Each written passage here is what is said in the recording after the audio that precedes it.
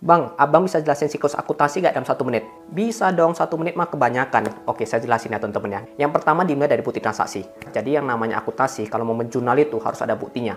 Dari bukti transaksi tersebut kita masuk ke proses jurnal. Semua bond, semua faktur, semua bukti transaksi kita jurnal. Setelah di jurnal, pada akhir periode buat yang namanya itu eh, jurnal penyesuaian supaya mendekati nilai paling real di akhir periode. Setelah buat eh, jurnal penyesuaian, kita itu posting per akun ya ke buku besar. Setelah diposting, kita buat neraca saldonya, kita kelompokkan di neraca saldo supaya kita tahu balance atau enggak. Kalau enggak balance, langsung cek buku besarnya supaya simple gitu ya. Setelah kita buat neraca saldo dan sudah balance, kita bisa masuk langsung ke laporan keuangan. Tentu terserah mau posting dari buku besar atau dari neraca saldo terserah. Yang penting kalau udah balance masuk ke laporan keuangan pasti udah bisa.